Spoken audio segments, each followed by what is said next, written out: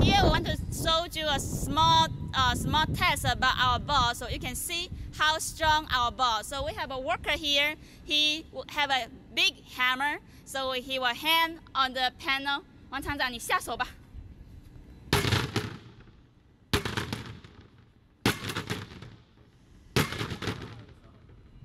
Okay, okay.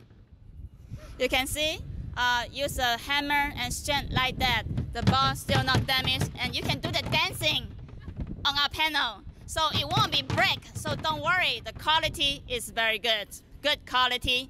Come to get a, buy the panel from us.